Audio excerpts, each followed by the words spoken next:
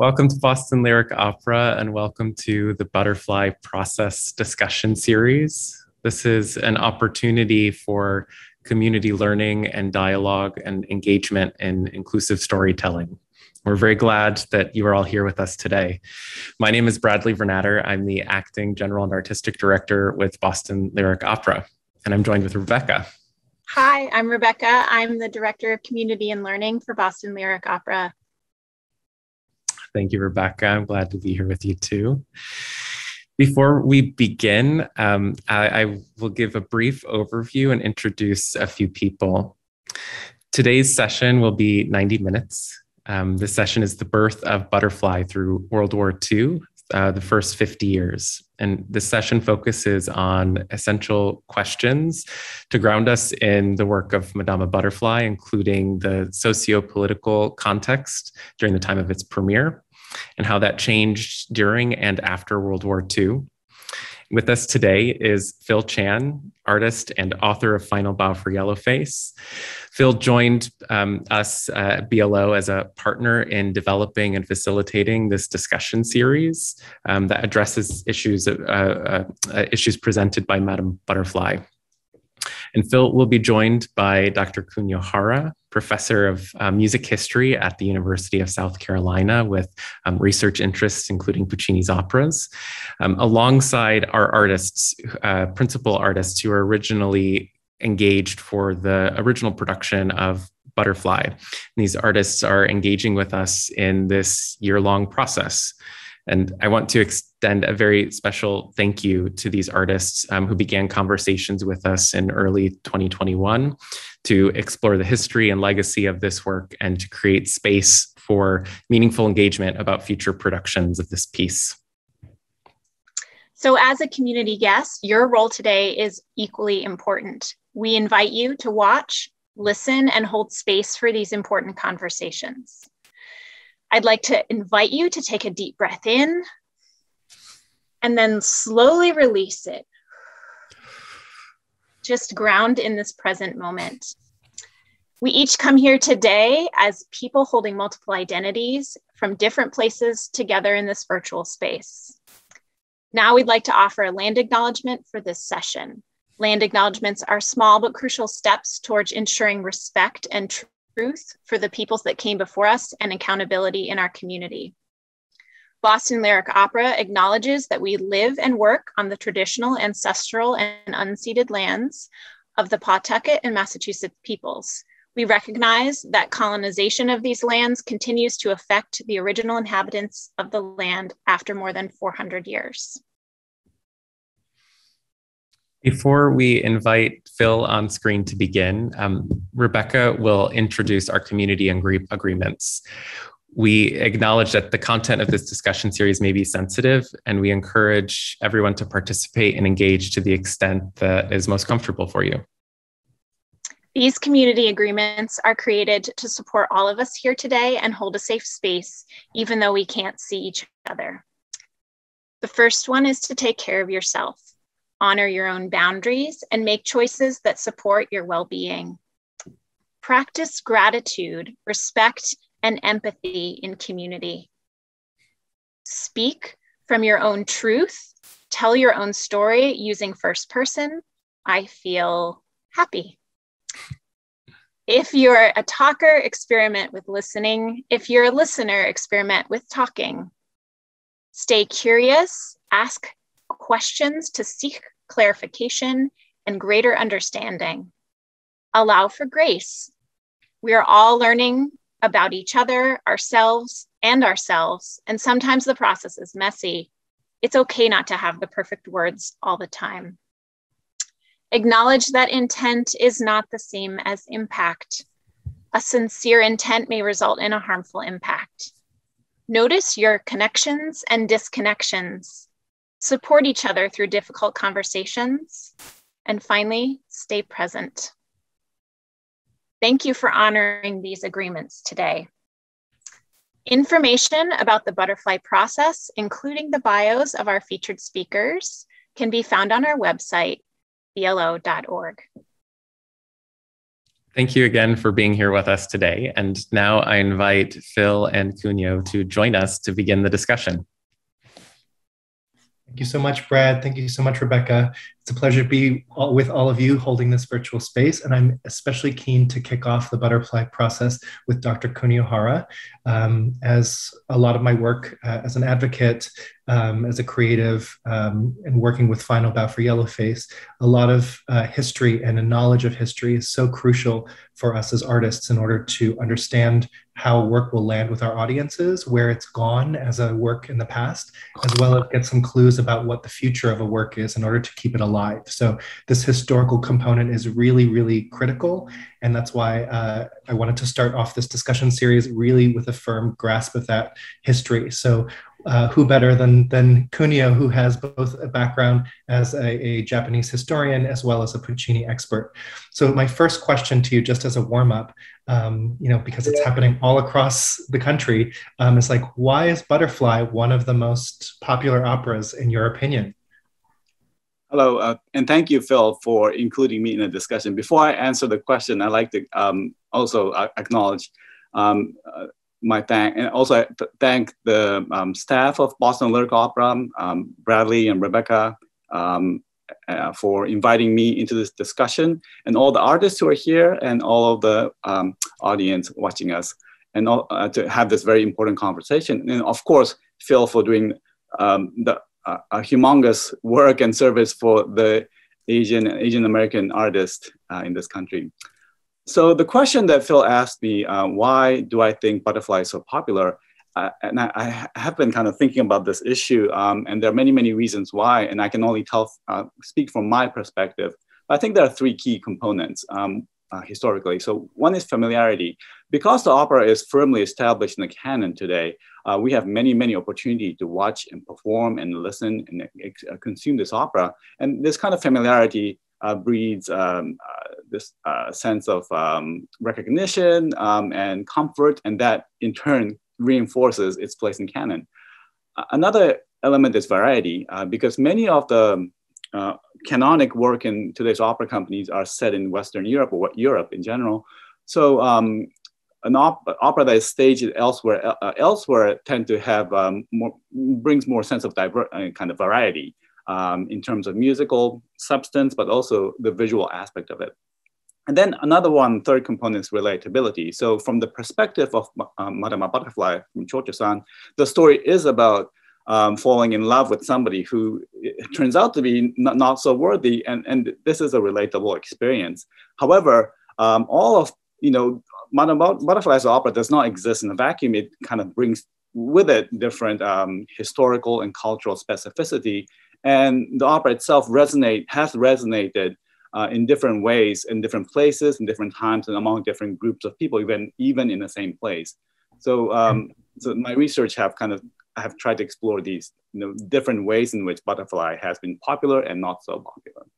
I think immediately right off the bat, you're bringing up this great point that this we, we sometimes think of these works of art, you know, these performing arts as being static things. We compare them to paintings sometimes, but really that's not the case. As we'll see uh, throughout this conversation, uh, even a work like Butterfly that we think is static has changed so much uh, throughout its lifetime, depending on who we are as a society. So I think one thing that would be super helpful for our audience is to frame maybe what was some geopolitical um, relationships with Asia and with Japan at the time this premiere was happening, and what was Puccini tapping into in terms of the Western imagination of what Japan was at that time?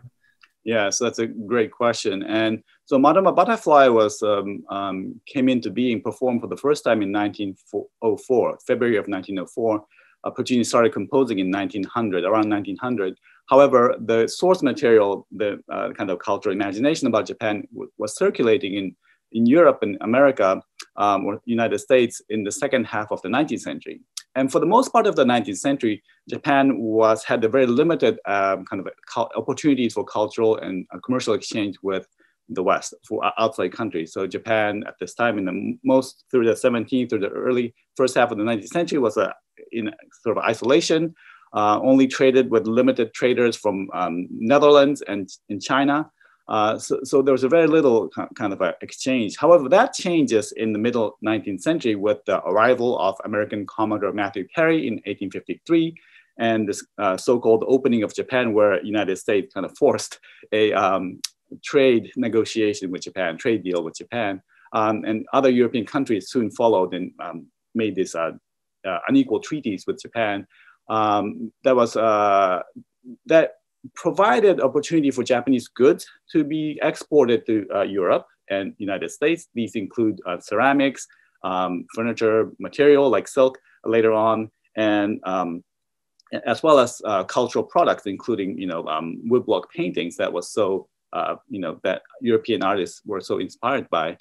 Um, Japanese leaders responded to this kind of sense of crisis uh, because of this kind of sudden influx of Western um, uh, demand for trade uh, by uh, swift actions that include political reform as well as importation of Western technology, Western sciences, and other aspects of Western culture uh, in attempt to kind of um, establish itself as a uh, kind of um, sort of a nation that could withstand or com be compared comparable to other Western countries. Um, so all of this was happening. Japan was rapidly westernizing, modernizing in different ways. One of the ways in which, um, so uh, that was kind of shocking and also threatening to the Western and uh, Western world was Japan's emergence as a military power. So one of the things that um, this is called the Meiji Restoration uh, devoted was to industrialization, but also rapid kind of uh, reinforcement, adaptation of Western military technology. And by the late 19th century, Japan had won several wars. Uh, one important war with China in 1894 called the First Sino-Japanese War, and, and then another war with Russia in around the time of Madama Butterfly, it started in 1904 and ended in 1905, in which um, Japan defeated a European uh, nation, in this case, Imperial Russia. The consequence of these uh, political um, events were that Japan has now emerged as a um, military and colonial power, has uh, annexed Taiwan, island of Taiwan, and um, uh, by the early 20th century, the Korean Peninsula. Uh, so in the Western imagination, Japan, uh, you know, in the 19, mid 19th century was a fascinating uh, kind of a country with beautiful products. And by the late 19th century, Japan was emerging as this uh, threat to uh, political threat uh, against a rival in this part of uh, Asia Pacific region. Um, so I, I, think Butterfly emerged in this very tense moment um, in the European perception of Japan, both as a um, you know, aesthetic uh, object experience as well as this realist kind of military presence. Yeah, a, a, lot of my research in, in dance, I find that in these periods where there is uh, a, a, global threat or a cultural threat from an outside group, you see a rise of caricature of that group in order to justify some of the anxiety um, especially you know whether it's immigration or whether that's it's you know a, a global war outside. So in terms of um, you know that that's very good context to, to understand what Japanese was outside in the real world. Um, how was that mirrored on stage? What were some of the depictions of Japan and Japanese people on the Western performing arts stages? So opera and ballet and, and other theater, other mediums that uh, uh, you know turn of the century audience might have had an awareness of Japan through the stage. Yes. So obviously, the, these paintings, these uh, artwork, it becomes a foundation of something called a um, J- um, Japanism in France and among the artists. But also, there's a you know, like you say, stage equivalent of this. And early on, this were more caricature esque. So uh, definitely what Phil you're talking about. So um, one of the f- uh, earliest works that kind of depicted Japan on stage was uh, Saint-Saëns's um, opera comique called La Princesse Jaune, The Yellow Princess from 1872. Um, and this was uh, kind of a fantastical story about a Dutch man who, uh, you know, uh, I think smokes opium and had this uh, hallucination that this um, woman in a screen on a depicted on a screen comes to life. So this, you know, this Japanese person supposedly Japanese individual is not even a person. It's like this image on a screen, right? So the kind of virtual existence. And of course, uh, Gilbert and Sullivan's Mikado that came out in 1885 and was notable because uh, Mikado included uh, one or two uh, Japanese songs that uh, were has already become um, known within the West. Um, so, so these are kind of a stage predecessor, I, I guess, um, of Madama Butterfly. But there are other literally predecessors as well. So the important um, kind of immediate inspiration that Puccini supposedly saw on stage was a one act play by American playwright called David Belasco. Now, if you're a Puccini fan, you might know, well, if you're a theater hist- you know, fan, historian, you might know Belasco's because he's kind of the American, important figure in American theater history, in kind of realist theater. And one of the one of Belasco's um, collaboration with Puccini, another collaboration with La Fanciulla del West. So, so this kind of opera that came right in the heels of Butterfly. But anyways, so Belasco uh, had a one-act play called Madame Butterfly that was that premiered in 1900 in New York and then went to London. And Puccini apparently saw the performance of London kind of production of Butterfly and immediately wanted to uh, start negotiation. Now, Belasco uh, not only, um, Belasco had a, a, source to consult, and this was a short story written by a, a, kind of a Philadelphia lawyer by the name of John Luther Long, who published a story called Madame, Madame Butterfly um, in 1898. This in turn seemed to have been a response to another novel called Madame Chrysantheme by Pierre Loti, who was a French naval officer who was in Japan in the 18, mid 1880s and had this love affair um, with a, a, a, woman in Nagasaki. So, uh, so there are several kind of iteration of butterfly story, uh, kind of romance between uh, kind of a Western um, or European American um, sailor, naval officer, and a Japanese woman. Uh, what is interesting about Long's, uh, this American author who wrote this short story, is that Long had a sister, had a sister whose name was Jenny Correll, and she um, was a married to an American Methodist mission, missionary who, uh, who, and together they stayed in Nagasaki for several years. And she seemed to have this direct connection, conversation or story um, that she heard about this relationship between an American soldier and um, a young Japanese woman. So um, we understand Long's uh, kind of kind of a story, which is slightly different from the play or the opera, has some element, a kernel of kind of you know truth to it. So there were lots of little pieces of this story, fragments. And yeah. what was Puccini's process in synthesizing all of these into the opera we know today? So, as you know, um, I think Puccini was a very practical man as a theater man of theater, and uh, he would collaborate with a lot of different people. And um, so Puccini had uh, two librettists uh, who wrote Butterfly, um, uh, Luigi Illica and Giuseppe Giacosa, uh, with whom he also wrote uh, La Boheme and Tosca. so so the, uh, the story is that Puccini uh, immediately contacted David Belasco to kind of secure the rights to uh, set this play as an opera. It took a, took a while for Belasco to respond.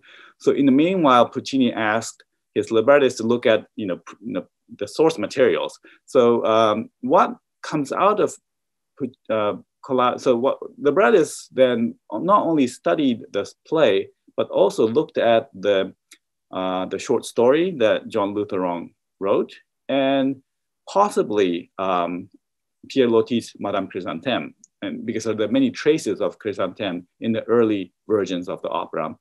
So uh, what ends up with, with Puccini is this amalgamation of three, at least three different literary sources, as well as some musical um, you know, I, I, have done research on this kind of music that Puccini uses, and I can talk more about it.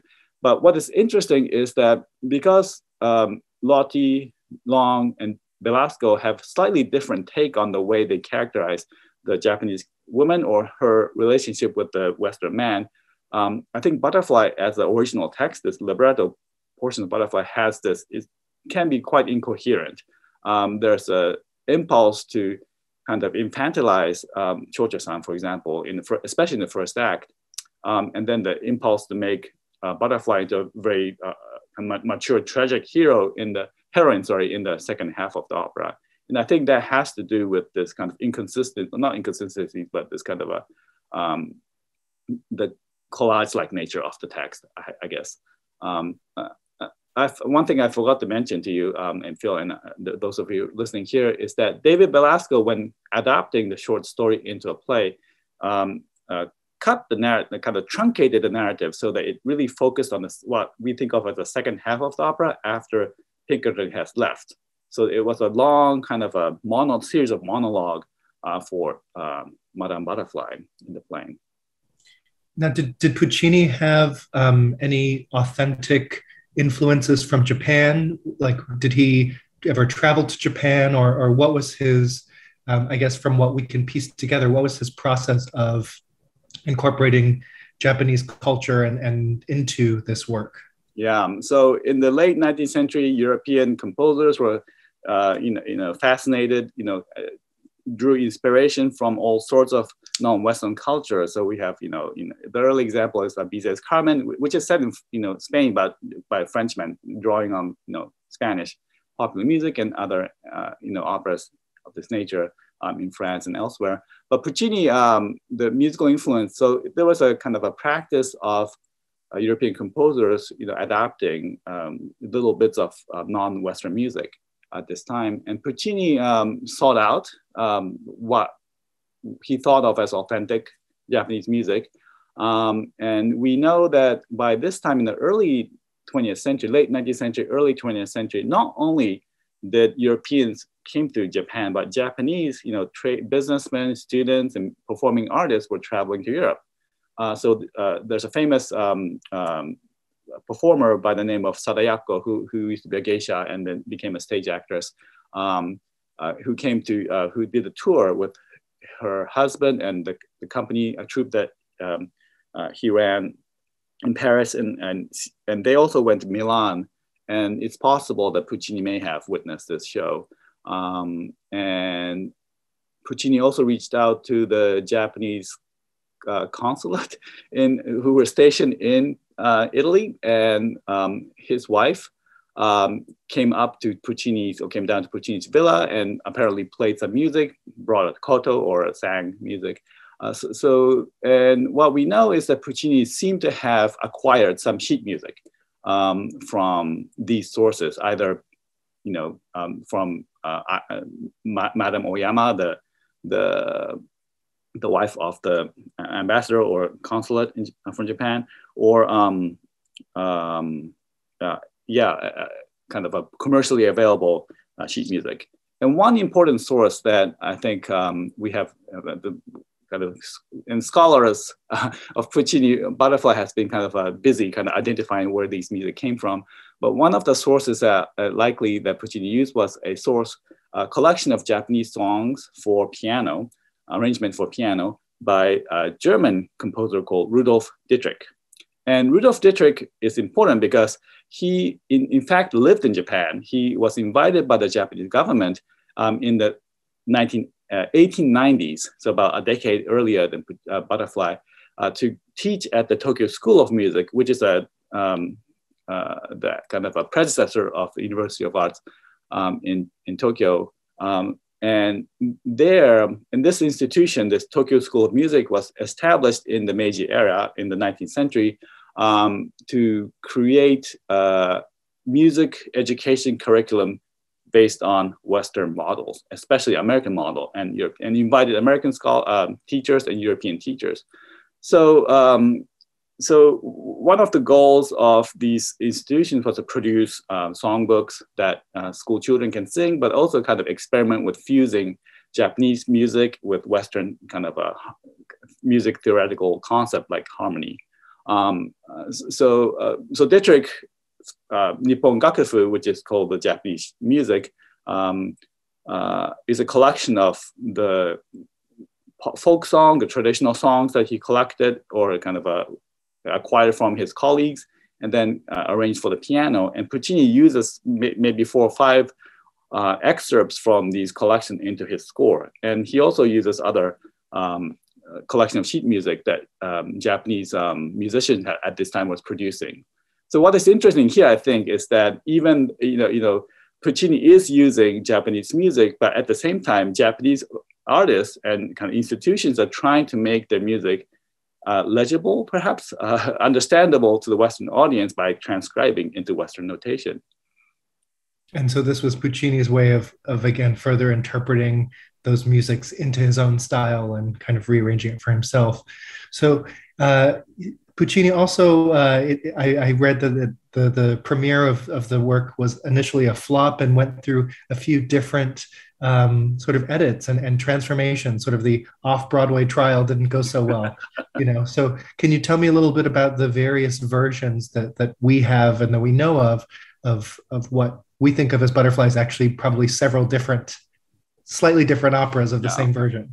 And, yeah, and this is a very kind of a vexing problems for Puccini scholars because Puccini again was a very practical man and he he re- revised a lot. he would tweak things up many, many times. And Puccini's, the first version of Madama Butterfly was famously a flop in 1904. And um, there are different theories, you know, the work itself was not strong enough, or the audience were really not interested in Puccini, or there's some kind of um, conspiracy against Puccini by his rival, um, you know, composers, etc. Uh, but in any case, th this was quite a shock to, to him, and he was immediately kind of came up with um, kind of revision. Um, so Puccini's 1904 version was in two acts. So he got, so, so we, we think of Puccini's um, Butterflies as a divided three acts perhaps. Um, so the, um, in this version, the second act was what um, the, the, the scene from when, you know, we see Madame Butterfly, um, waiting for Pinkerton, and then the intermezzo with the humming chorus, and then the final segment. These were all done without a break. And some opera companies still do it, do the opera in this way, but um, you know, uh, the audience complained that it was too long, so he kind of split the, the second half into three, into two, so we have three parts now. Um, and he also tweaks different things, and he continued to do this through 1906. And by comparing, uh, you know, traces of these uh, versions and they're available through because Ricordi, the, uh, the, the publisher, uh, issue, would issue a piano vocal score or score or orchestral score at each kind of iteration. So there are different versions that we can trace. Um, and so what we think, so, so if you study these different versions, we, uh, we immediately understand, see that um, some of the, some of, in, during this process of revision, um, the blatantly or obviously kind of racist comments that Pinkerton would make in earlier version of the opera against the Japanese, Japanese servants or Japanese relative is kind of eliminated over the course. And, and several co comedic section in the first act is eliminated, um, involving the drunken uncle. And, and the second act, however, the second part, however, I'm sorry, the third act rather, um, Pinkerton inserts a beautiful lyrical aria for Pinkerton, Addio Solito Asilo, which is a kind of rare moment we see that Pinkerton might be a little bit remorseful and therefore redeemable. So in the process of the revision, we kind of see how the character of Pinkerton changes a lot from this callous kind of a um, unfeeling kind of a arrogant man into a more of a stereotypical romantic hero or tenor. So a little bit more nuance there for yeah. for the American character. Yeah. Um, and then of course there were there were some um, you know I assume all of the first performers of Butterfly were all Europeans. Yes. Um, and when did Japanese singers start to kind of take ownership of of the opera itself? Yeah, and, and that's a fascinating thing about the history of, of Madame Butterfly is that the participation of Japanese and Asian and Japanese American, Asian American singers uh, begins rather quickly. So one of the earliest um, performer, Japanese singer who became a star in Europe, her, her name was Tamaki Miura, and she started uh, performing Madame Butterfly in 1915. So that's within like 10 years of the premiere of the opera. Um, and she, she you know, make a splash in uh, England and then later in um, United States. And, and within Japan, there's some kind of um, um, uh, different versions. Uh, for example, um, Jap- there, there, was an important uh, production by the Japanese Japan Music Drama Society um, which was led by Kosaku Yamada, a very important composer. Um, he produced a, a, in 1930 a bilingual uh, production of Madame Butterfly in Tokyo, in which he was sung in Japanese and English uh, in this realistic kind of a casting with Japanese singers for the Japanese like role and uh, European singers for the American roles, and then um, edited out some of the problematic element of the, the text as well as music. Great. So I'd like to, speaking of Asian and Asian American singers, would like to invite some of our artists who are, are involved in this process to turn their cameras on and join us. And just we're, we're just going to have a five minute lightning round, just a quick uh, question of, of since we're talking about different productions of Butterfly and how it's changed through history, perhaps maybe you guys can give us some notes on, from the field of if you guys have seen any sort of um, you know non-standard versions of butterfly or either sung in them or seen them or just how have you seen other ways that other creative directors have interpreted this work?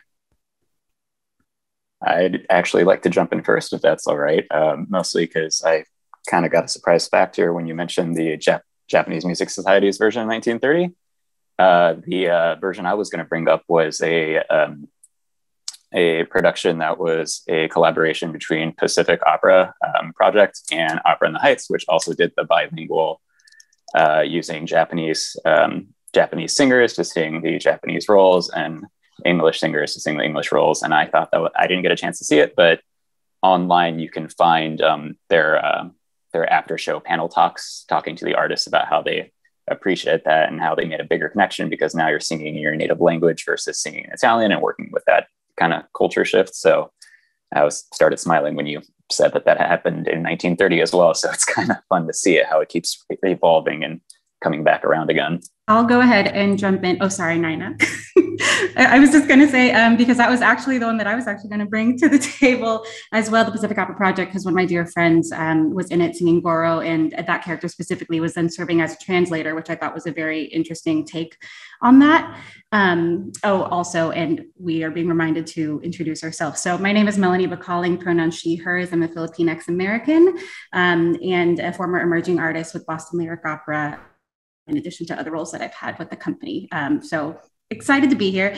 Um, but I'll bring up another uh, uh, production since Jack already talked about that one. Um, Welsh National Opera, I believe, recently did a version um, where they take out all cultural reference, um, Japanese reference uh, in general. I haven't um, been able to see it, but it was just one that um, I heard about recently as well. Hi, I'm Nina Yoshida Nelson. I'm a mezzo soprano, and um, I wanted to talk a little bit about a production that I heard of that took place in uh, fall of 2019 um, by a well known Japanese director in Tokyo. And um, as far as I know, it hasn't come to the United States yet, but it starts with uh, Pinkerton on his deathbed um, with his grown up son, Dolore Saro. Um, and he basically is saying, I want to tell you the story of your mom and um, and some of the mistakes that I've made in my life. And um, so you watch um, Butterfly kind of as a memory, and um, the grown up uh, Saro is on stage throughout the whole show, watching as his father uh, talks about uh, all the mistakes that he made in his life, including Madame Butterfly. I'll just try to get in my, my quick few moments here. I'm Zach Borichevsky. I'm uh, uh, singing Pinkerton in this uh, process. Um, I don't have Dolore here, but I have a different uh, little baby who was uh, un, un, unexpectedly foisted upon me. No, he's he's the best. This is Charlie. He's not going to stop his, his little whining. But anyway, I uh, saw a production at the Teatro Real, not in person, but rather streaming. It was set in 1930s uh, as as in a uh, as if it was a production of the opera being filmed by the uh, relevant Spanish film company, um, and so it to me is is like the ultimate cop out attempt to deal with the issue of yellowface and casting a bunch of white singers because it's like pretty much all white people on all of the chorus and all of the main roles and they sort of did some subtle yellow face makeup, but not like extreme.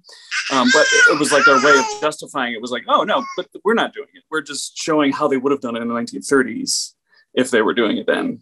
And so to me, it was like, okay, I, I appreciate that you're trying to do something to deal with the awkwardness of yellowface in the modern age, but it seems like kind of a huge cop out rather than addressing the the core uh, concern of yellowface. They're just kind of sweeping it under the rug by saying we used to do it, so we're just going to show you how it used to be done. Was kind of unfulfilling to me. It's okay. It makes me cry too, baby. Um, so yeah, thank you so much for that, that artists. Um, I guess wanted to switch gears and, and think about um, sort of the, the next big moment in our history, um, which is sort of the conflict with Japan in World War II and, and the sort of Pacific War um, that happened after, as a result of the bombing of, of Pearl Harbor. Um, and just curious, both having the historical context around that, that political event um, and then how it influenced uh, how we viewed Japanese people and Japanese culture and and how Japanese culture uh, has since rehabilitated itself, um, both in general society as well as on the opera stage. So, can you walk us through um, exactly what what happened, um, you know, during the Pacific War? Yeah, thank you for that, and and thank you also for the other artists that commented. I, I will have to come back to some of the points that you mentioned, um, brought up, but the, the this kind of military buildup that I referred to earlier in the presentation come to a head, right, in the 1930s and 40s. And the kind of um, performing history of Madame Butterfly has this tremendous impact. We experienced a tremendous impact during World War II, or more precisely between in the Pacific War phase, so uh, after the Pearl, bombing of Pearl Harbor and end of the war in 1945. So um, butterflies seem to, you know, uh, be performed regularly in Europe. However, in um, United States and Japan, uh, the performance of Madame Butterfly kind of shuts down in after 94 in the December 1941 after these two countries go into war. And there's no official ban that promulgated by this, uh, the, the state. Uh, in other cases, you know, Japan did ban um, musical uh, expression products from the allied nations, but you know, Italy and Japan was allied. Um, um, but after World War II ends in 1945, the opera is immediately embraced by both parties in both in both Japan and United States. And when, when this happens um, in the United States, um, you know, the critics who are writing about the revival of uh, Madame Butterfly in 1945 and 46 comment how much they missed hearing Madame Butterfly and how much they um, and, and, they kind of speculate about why this was the case. And one of the prominent reasons I thought this is also fascinating is that the reason why um, there was this kind of um, resistance or hesitancy to produce Madame Butterfly during the war years was that the opera depicted an American soldier um, in a negative light, and also kind of uh, designed to uh, elicit empathy or sympathy for the Japanese characters. And this apparently was too much for the general American public. And of course, we have to remember um, there was an enormous tide of anti-Japanese sentiment or anti-Japanese American sentiment in the United States, and this, many Japanese Americans on the West Coast were interned in concentration camps, and this was a tragic time for the Japanese American community. And so, so there's a kind of a parallel event that was happening on the operatic stage. And the revival of Butterfly only comes out after, it coincides with the reintegration of Japanese American um, people within American, mainstream American society. Um, in, in Japan, another interesting aspect of this is that um, when Madama Butterfly comes back on stage in 1945, late 1945, 46, Japan was still under the American occupation. So Allied powers, including America, occupied Japan from 1945 to 42. So, uh, sorry, 1945 to 52 for a while, long time. And um, they did, you know, they and uh, opera companies kind of seized on this opportunity to make money uh, by uh, providing entertainment for the American troops, and they would entertain uh, put on shows such as The Mikado, as well as um, Madama Butterfly for the American troops and their family and the officers and their families and government um, officials there. so butterfly became something that sort of a calling card that represented Japan that yes. Japanese Japan wanted as a as a way to to associate with with their country, even though it was not something native from Japanese culture. Well, yeah, I think it's it, it, there's you know it's it's hard to say the country as a whole has embraced Madama Butterfly, but what what is ironic, not perhaps ironic, but uh, fascinating here is that um, the kind of colonial relationship that was depicted in Madama Butterfly has become the kind of norm in Japan during this occupation years. Um, and this kind of liaison between American soldiers, GIs, and Japanese women were happening all the time, right?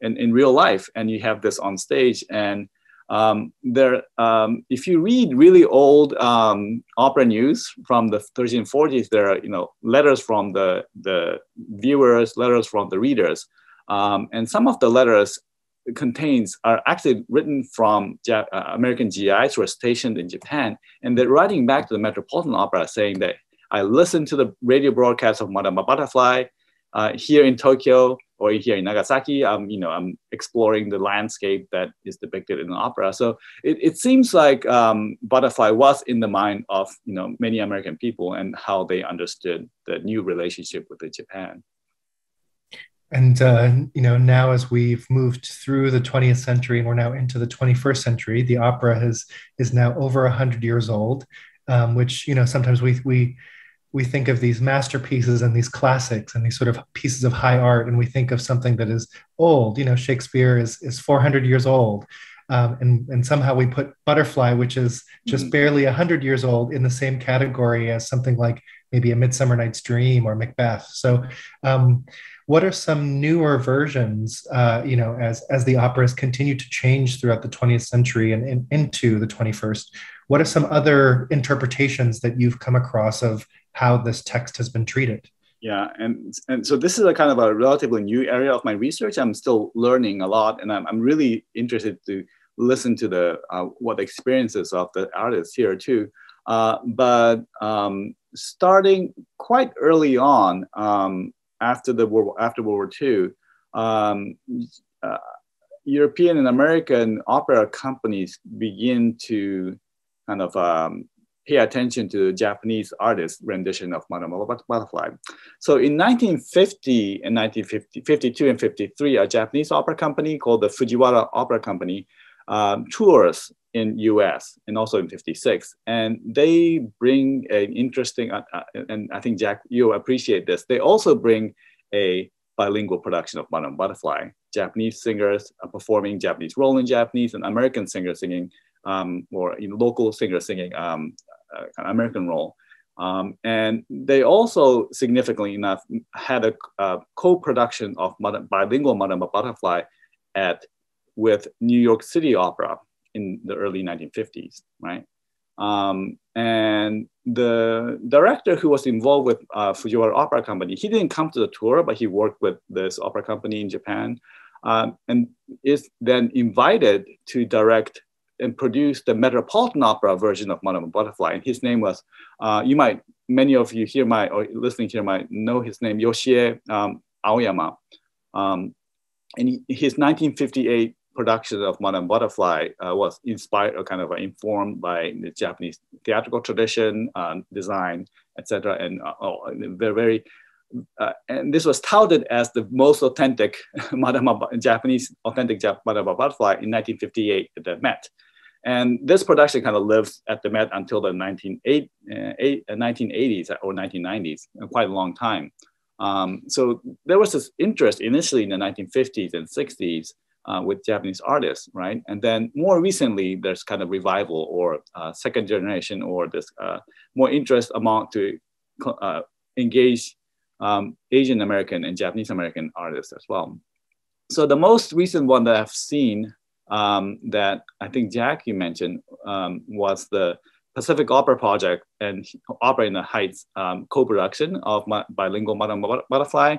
Another interesting one I, I saw personally was the Heartbeat Opera in New York in 2017 production which is just titled Butterfly, and they the uh, company kind of cuts the narrative uh, kind of in a very you know small segment, um, but focuses on you know the the kind of a psychological emotional uh, uh growth of Chocho-san, Madame Butterfly, but also it really highlights this idea of uh, what it means to be um, um, by by uh, racial, bicultural in terms of Dolore, and as well as the obviously explicit, you know, they highlight and foreground the imperialist co uh, component of the opera. A, a very interesting production. Uh, another one is La Scala, production 19, in 2016. So uh, Riccardo Chailly uh, has been kind of doing really interesting production of uh, Puccini lately there. And uh, they decided to produce the original version of Madame Butterfly that had opened in La Scala in 1904 and was booed and was never played there again.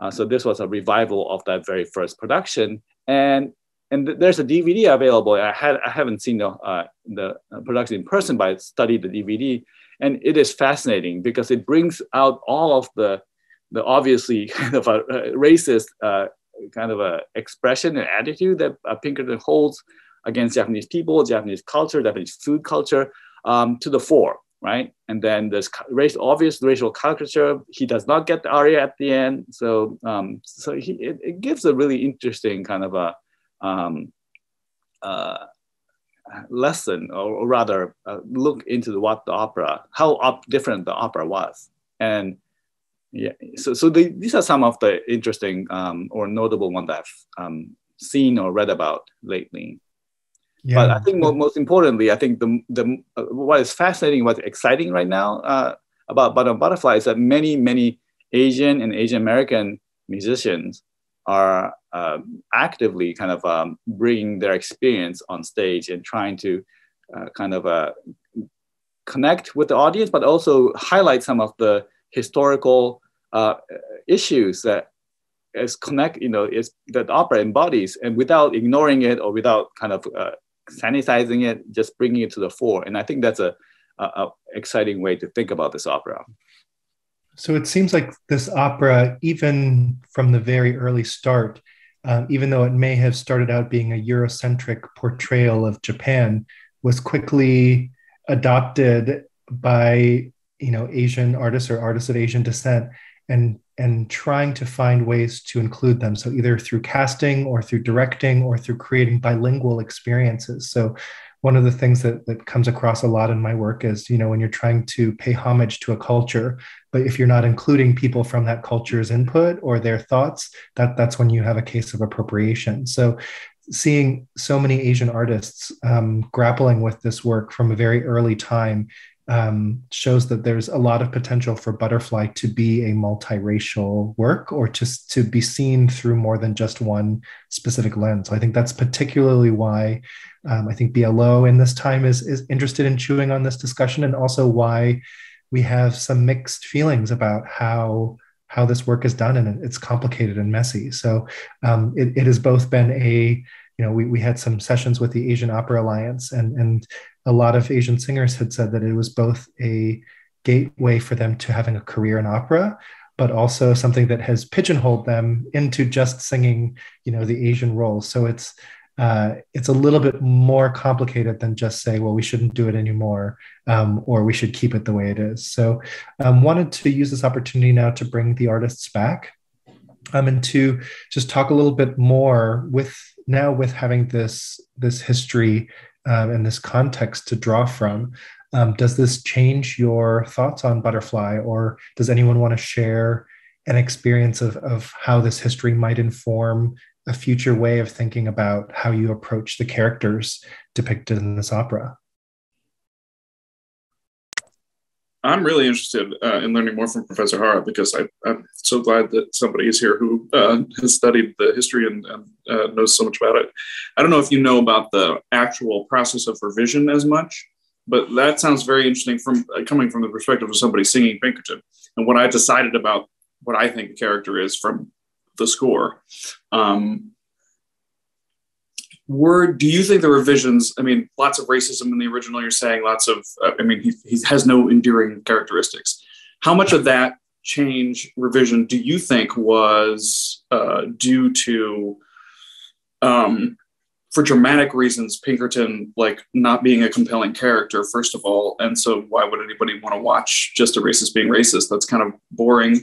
Um, and also it kind of lowers the um, I mean, it makes butterflies uh, like being in love with him seem a little ridiculous and it like reduces her uh, agency as a person. Like uh, why is she falling in love with this? He's racist. Um, so uh, were those the elements or was it uh, the third element that could also of course be in there is europeans don't want to watch themselves being racist. They don't want to see um, them their culture portrayed in a negative light. So, I mean, do you have any evidence in terms of letters or any evidence why he was uh, changing uh, the the role of Pinkerton? Yeah, I cannot talk about the the kind of uh, intent, the kind of behind these changes. But I, I, do think that, but but I think you're right about um, you know one concern must have been you know you want this opera to be popular and you you you expect certain things tenors, you know, romantic lead should embody certain things, and you know, this character was out of kind of character, and, and, you wanted to be more stereotypical.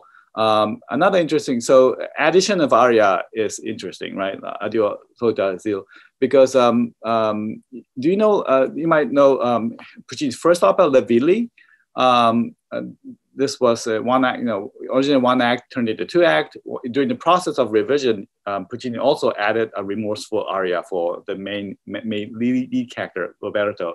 So this has seemed to have been this kind of a um, demand to for aria for you know tenors, right? Um, so that's part of it, and um, and and and and uh, but I, I, another thing is that so many of the details that Puccini draws or his librettist draw in the first act, you know, he describes um, his um, servants in unkind manner. He talks about the strange, what to him, very strange food, Japan. This also all seemed to come from Pierre Loti's novel, uh, Madame Chrysantheme, which is blatantly kind of, I mean, Phil and I talked about this. It's kind of surprising how bad this is because throughout the novel, the character compares Japanese people to insects, um, animals, objects. Um, so butterfly is part of that, right? So he, you know, rather than calling somebody frog or you know goat, she's a butterfly. so, so so so that it kind of comes from that. And Madame Chrysantheme means um, Madame um, Chrysanthemum but at the same time, um, there are women in Japan who are named Kiku-san, which is you know chrysanthemum. So you know, Japanese women often named after um, flowers, you know, at this time. Um, some some of them. Um, so there's some authentic cultural nod to that. But um, yeah, so I think in the process of um, like you say, Zach, rationalizing this character to become, you know, make it more dramatic, compelling. I think it was under it was um, uh, inevitable perhaps that this kind of uh, un, unkind nature of Pinkerton to be kind of rounded off. And I, I yeah, so so yeah, I, I, do. This is a difficult job for you because the character you have to kind of build it to make it believable. Well, yeah, my, my interpretation has been just from the text uh, is is that uh, Pinkerton has his own idea of how Japanese society in this way is operating. And he believes this, this is my own personal thing. You can take it or leave it. That um, that butterfly is in on like she understands that this is a more prostitution style relationship and that the fact that we need to pretend that it's a marriage is like the way that they do it culturally. And maybe that's what goro has told him or maybe that's just what he believes and that's what his his arrogance is is wrapped up in that um, belief that he understands and and he can mansplain to Sharp, Sharpless and everybody about how this works. And this is it's, how it works. And that also allows the remorse to make sense because if he just genuinely knew that she was a victim as opposed to a complicit in this existing society and like okay with it, not necessarily like totally gung ho, still a sort of an oppressed um, gender happening there, but uh, at least she knows. And I think his remorse comes out when he discovers that she doesn't actually, she wasn't, she she thought it was marriage. she thought this was it. Like she didn't she didn't understand this whole uh, just coming in, drop an anchor for a little while situation. Anyway, that's that's how I justify it to myself because you can't play a monster and just like be cool with that. Which I think is also interesting because in the in the Loti novel, there is some awareness that Butterfly is in on it. Um, so again, that is another change. It, it sounds like that Puccini decided to make it make the turn up the tragedy by saying actually no she doesn't know but in the novel it's it's quite clear that she's she's sitting at the end of the novel counting the money and she she knows she knows what the arrangement was um, regardless of what the emotions projected were yeah, and and Phil, and that's an important.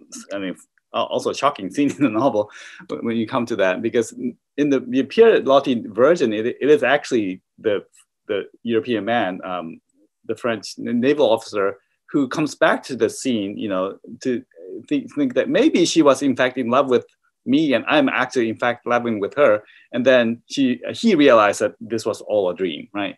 Um, and then so it so uh, uh, John Luther Long's novel seemed to have chrysanthemum in the mind, and because Pinkerton think, oh, I'm going to have this quote unquote Japanese marriage. This is how it goes, right? So and then and then the tragedy there is that uh, you know Chocho-san perhaps was in on it, but then changes her mind or have a more complicated relationship with uh, Pinkerton that creates a misunderstanding. You know but all of this is kind of um, um, predicated on this unequal relationship, gender relationship, also of national racial relationship between European men and Japanese women. So, yeah, that's part of it too. I have a question for Dr. Hara. Um, I'm so I've been in over 150 um, Madame Butterflies over the years, um, and I'm a co-founder of the Asian Opera Alliance, and so I'm really heavily invested in this opera that I love dearly. Um, and something that I am interested in that I hear a lot, but I've never really heard discussed um, so much is that supposedly in uh, I'm Japanese American, fourth generation. Um, what we see as problematic here in the United States is not seen as problematic in Japan. And I would love to hear more about the way that butterfly is viewed um, in Japan versus here in the United States? Of course, of course, I'll be happy to talk on this issue because this is one of the you know research point that I'm really curious about. Um, so uh, you know, uh, reviews of early production suggest that Butterfly was kind of ridiculed in Japan very early on in the 19 teens, 20s, and 30s.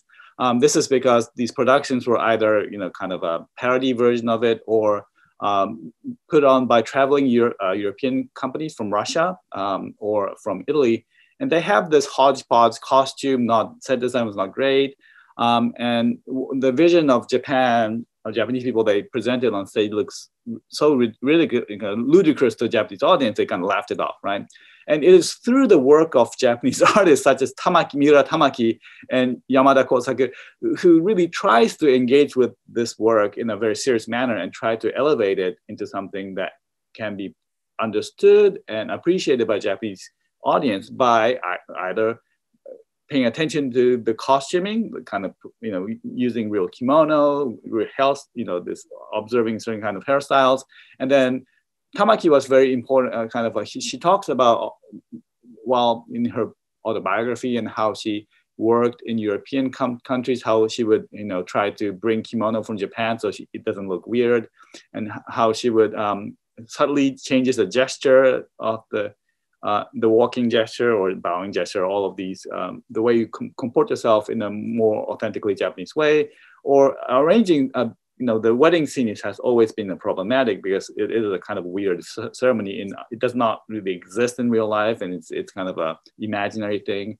Uh, but trying to incorporate element of Japanese kind of um, actual wedding ceremonies like drinking the sake or having a shinkan uh, say something, right? So, um, so these kind of subtle, uh, so, so the reason why the opera is not problematic in Japan is not because Japanese people don't care about, you know, the cultural authenticity, is that Japanese artists, performers, directors, producers, costumers, designers have been working really hard over the decades to make it more kind of suitable, more uh, culturally appropriate for the Japanese audience, right? I think that's that's my kind of a simple answer to this, um, and I think um, because of that, the Japanese opera singer, the kind of musician who grew up in this environment, kind of look at the opera and say, "Wow, this is a great representation of Japanese culture," because partly because of that. And, and, it becomes this um, repertory, a kind of work within the repertory. Otherwise, they will have to kind of embody a foreign kind of a character. But in this opera,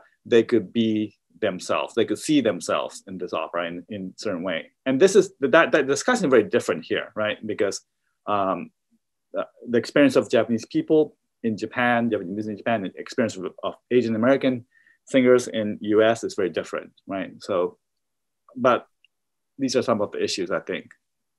I think also to build on that idea, um, in Japan, when you are Japanese, you're a member of the majority. And so the art is centered on your experience. All of the art caters you. So you're used to seeing Asian good guys and Asian bad guys, you know, Japanese, funny Japanese, sad Japanese, fat Japanese, short Japanese, tall, you know, all sorts of, and it's it's just one other character in a you know big array of other representations whereas if you're asian american in the united states you're living in the minority and you're looking at the opera canon and, and there aren't as many works by well-known japanese composers compared to if you were Japan in Japan and you could go see art by Japanese people everywhere.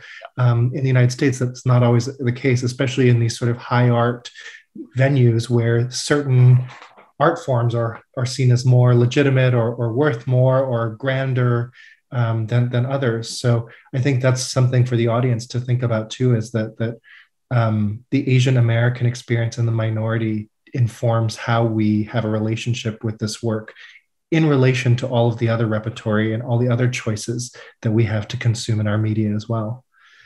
Um, any other artists have some questions?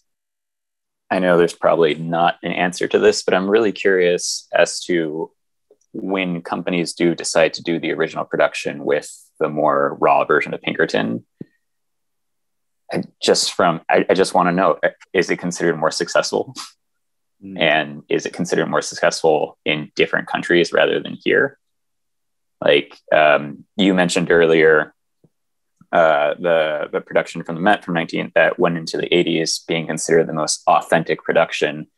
And I suddenly started trying to wonder. I was like, where did we draw? Where was the line decided that that was going to be authentic? Is it because it's the timeline of when the opera was supposed to be taking place, or which version was it? And and for some reason, I started relating that to a bunch of different things about authentic Latin food because that's where my brain went with what that means. So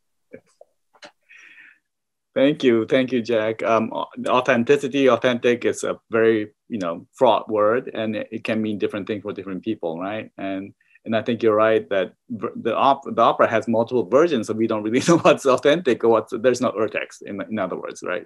Because Puccini is again a very pragmatic composer, um, and um, uh, so the the version, uh, as far as I understand, from the 1958 version was. Um, the 1907 kind of Paris version, right? The standard version. Um, but the staging was, you know, done with American, uh, sorry, Japanese um, artists participating.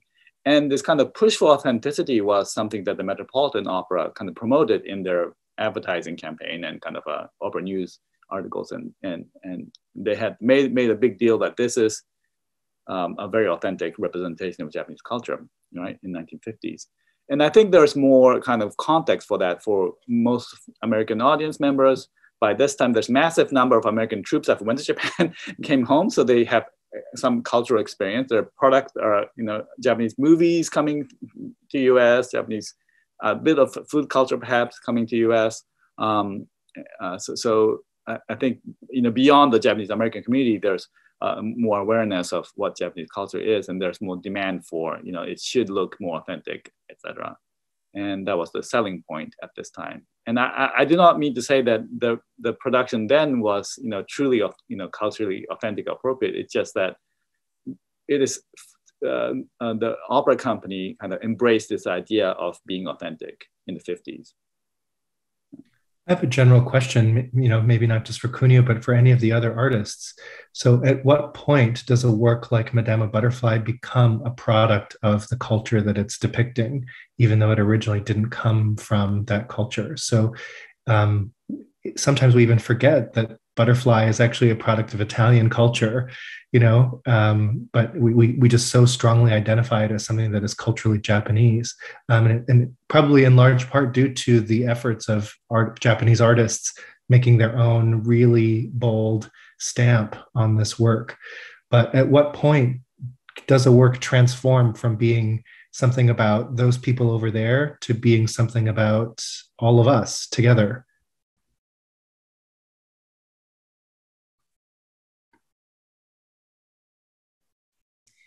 You know, um, I think that that is not an easy question to answer, but I think it starts in something you had mentioned earlier, Phil, about who is telling the story and how do we move towards a more multicultural version of this story, but also many other stories in the opera canon. Um, and so, to me, it seems like if we are engaging using the word authentically, um, with multiple voices, with Japanese voices in telling this story, um, that that is where it at least starts. Um, and and also just saying to answer a question that you had thrown at us earlier of you know our initial reactions and, and has any of our perspectives changed um, on this work based on everything Dr. Hara has been um, telling us today. Um, I know that something that you also mentioned in your book, Phil, is which shameless plug. Everybody required reading should be Final Bow for Yellowface. It's an excellent, excellent read. Thank you, Phil, for all of your work with that. Um, but something that you do mention is how easy it is for us to write off something as racist or appropriative um, and then dismiss it and not actually do the work to discover why we should continue doing it. Um, and it's knowing this history from the base zero um, that helps inform us of like where was it coming from in its time and space and what is our time and space now that puts it in a relevant cultural context that makes it worthy of a story that should be told today? Um, i don't know if that actually answers the question but those are all the thoughts that i have in my head right now Thank you, Melanie, uh, and also for Phil for this um, question. And it, it really becomes, you know, the question who who owns the culture, right? I mean, can, can we can anybody own a cultural product? I mean, yes, Puccini has a copyright, and recording probably owns a copyright still. But but you know, uh, in terms of representation, the what is represented on stage, and um, you know, who, who gets to say what this is ours, this is not yours? It, it's a becomes a difficult issue and and this um, the discussion of um, and this I'm, I'm, I'm saying this as a Japanese person as you know can, can I can, can I claim I, do I want to claim Madama Butterfly as a Japanese work or do my you know other people in Japan want to claim it as a Japanese work and um, I, I, think some people do think you know kind of have a very strong attachment to it. Um, you know I, I have I do I, my, my, academic career is kind of partly based on the, the discussion of this work. So yes, I, I'm very invested in understanding the history of this work and how it's performed, and I have very interest in how it will be performed later on. Um, so I, am just rambling. I don't know. I'm, I'm well, you actually you, you bring up a good point. Is is I guess what do you see, and maybe this is a question for the artists in the field too. But what do you see as the future of Butterfly, knowing now the trajectory that this work has gone through, and all of the revisions and changes and new perspectives and new influences that this work has, you know, built and changed, you know, since its premiere. What um what is the future of this work as you see it? So, uh, in addition to uh, in addition to working with this role and this process with Boston Lyric Opera, I'm also currently the chairperson of an idea committee that's working with multiple unions with Boston Lyric Opera to make sure that as we're producing more shows in the future, that we're inclusive, we are mindful of diversity and equity and accessibility. And uh, the goal for that is to kind of come up with a framework that BLO can follow and hopefully eventually other houses can follow to make sure that they approach these rehearsal spaces and these productions with the goal of honestly the goal of being respectful. Um, and as i was listening to dr hara earlier talking about authenticity and how it's such a fraught word i think my my goal and my hope for this entire process is that we find a way to do these productions not necessarily authentically but whatever version that we decide to work on we are at least respectful. And that means doing these this historical analysis. That means acknowledging the different versions. That means uh, if we're able to and that's the goal of that particular production to bring in more asian american singers or if it's the goal of the director to go in a whole different direction and use that that love story that we all for the most part crave and portions in our lives that we can also move away from the standard productions, but still be respectful of the history of the opera and the singers that we're using and respect their views on it. Um, yeah, so I just, yeah, that would be what I want for the future of opera is that we can continue doing all these productions, no matter the history that they've had, no matter how we've misunderstood it, but to understand that there are respectful ways of going about it in the future and there are opportunities to educate us as performers and the creative staff and the administration, but also the audience as well, to include everyone to know that there's a history behind it. And now we can also enjoy this version that we are deciding as a group to put on.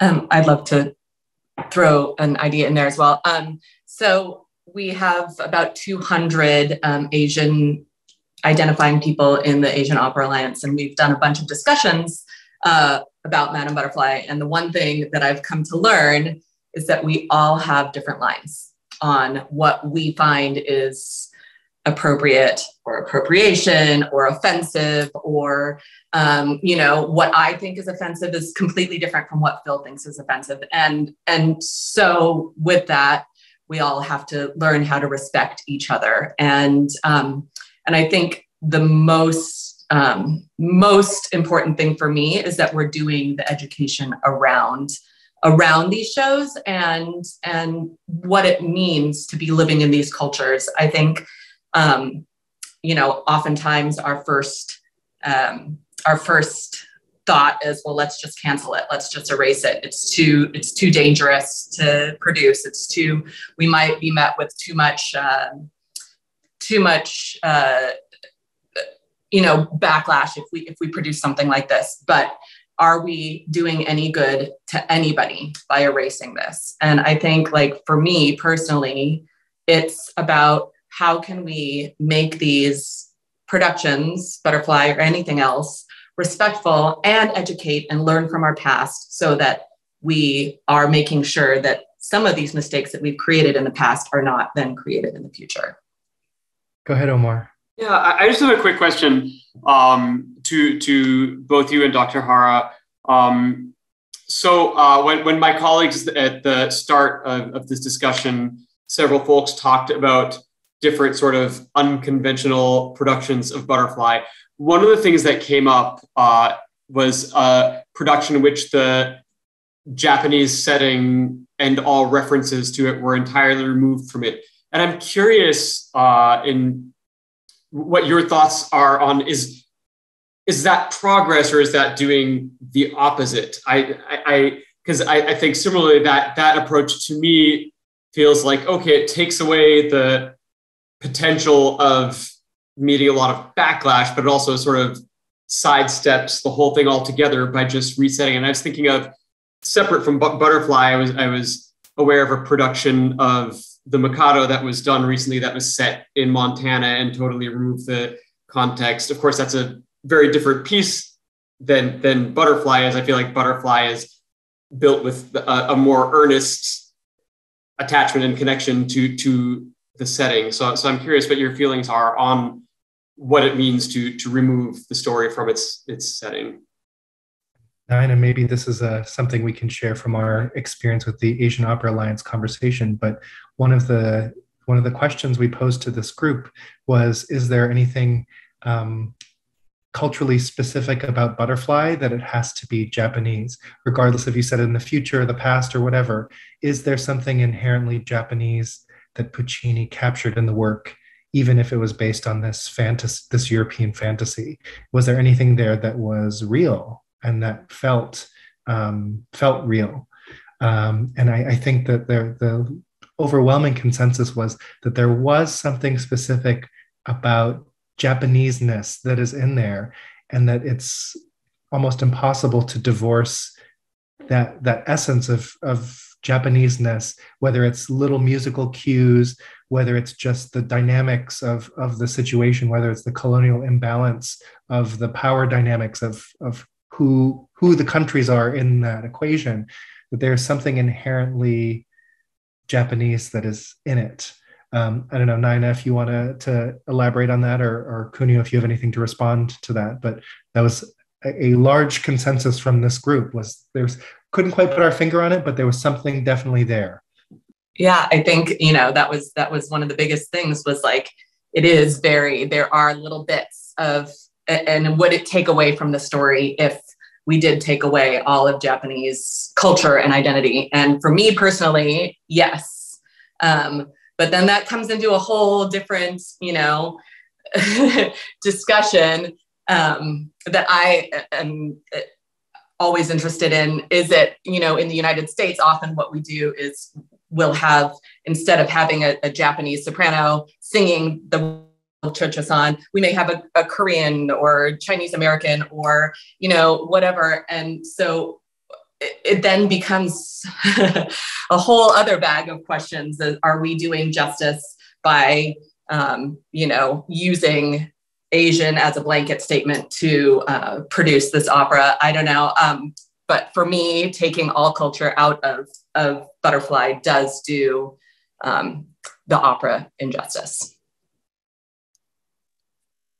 Yeah, thank you, Omar, for that question. Also, Phil and Nina for uh, commenting. I, I, do also find, um, so I haven't seen this Welsh uh, opera production, so I can't say, talk, speak to a specific production, but uh, just by thinking about um, eliminating obviously Japanese references to Japanese culture, I think uh, the score itself has a lot of Japanese music in it. And I think to me, if, if they get eliminated the textual element or you know staging element of Japaneseness, um, if the score is the same, music is the same, it does create this dissonance between this kind of a reference ghost kind of um, almost like a ghostly references to Japanese music or in culture in the sound, and then there's nothing on stage. So unless it's the kind of a alienating effect that the, the production is somehow um, making use of. I mean, that, that might be potentially very interesting, but um, yeah, um, it, it, does seem some,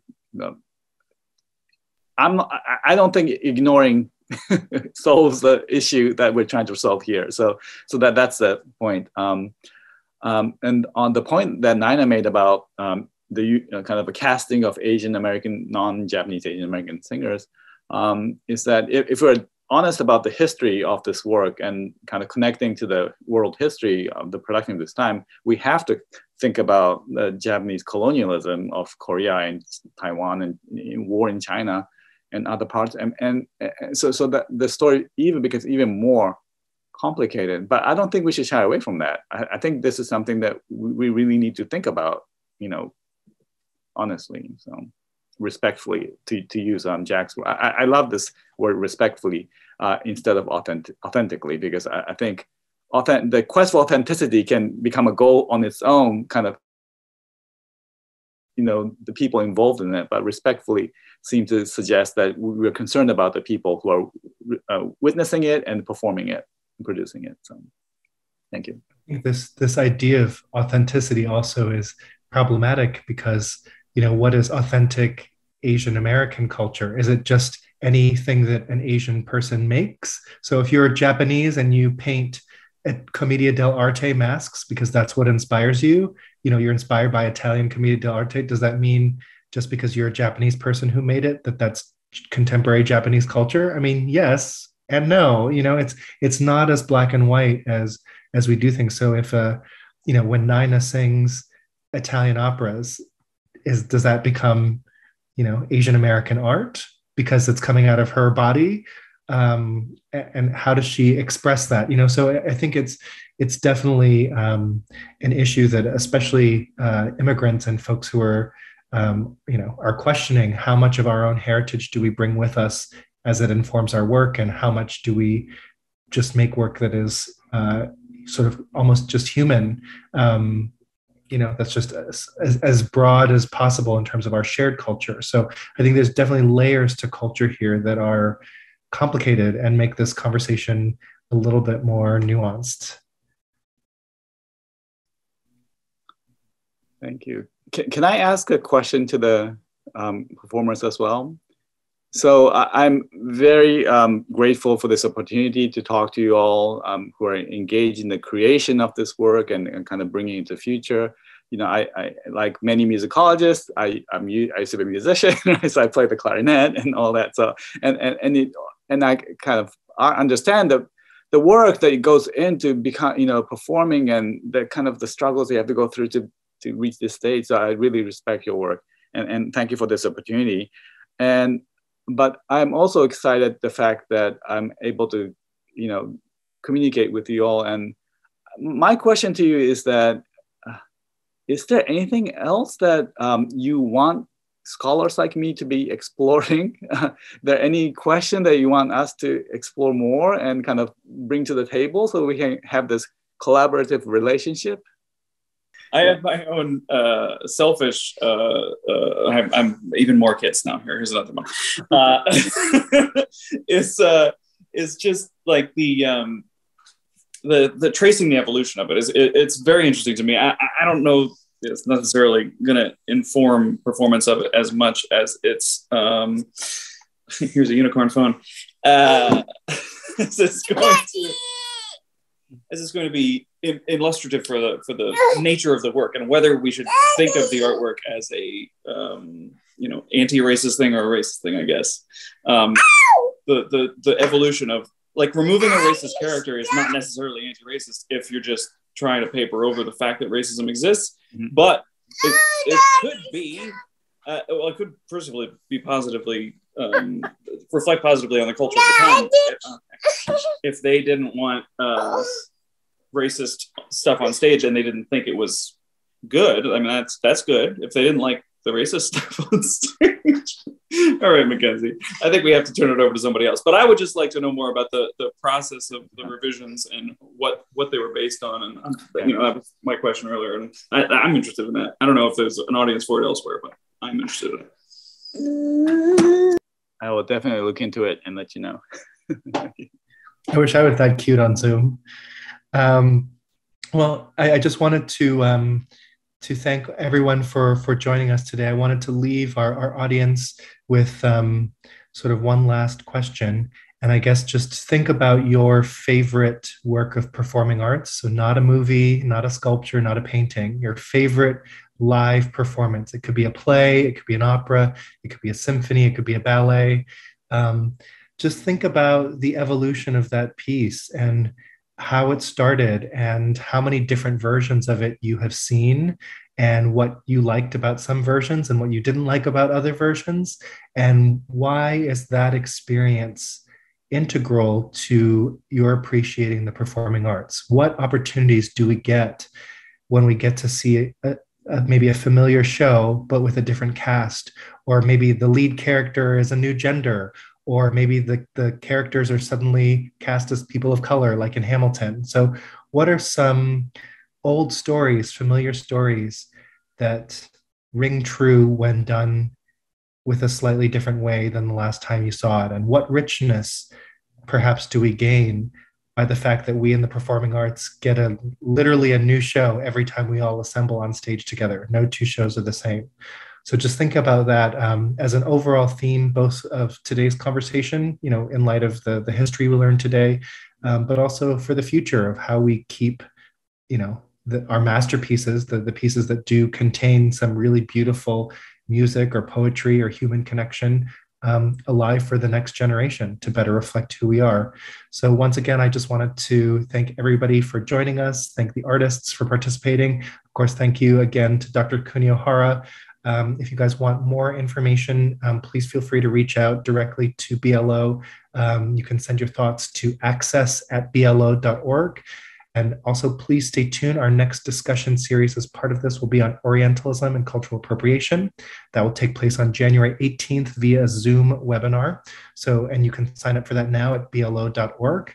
Um, also, I would be remiss in saying it is the end of the year. And so, if you have a little bit of extra dollars laying around and you want to be sure to support the arts, support the artists in your community, um, I'm sure the BLO folks would be very happy to receive a, an end of the year donation uh, from all of you. So, once again, thank you so much for being a part of our community. Thank you for tuning in um, to be a part of this conversation and um, really looking forward to continuing to unpack this masterpiece with all of you in the community. Thank you so much, everybody.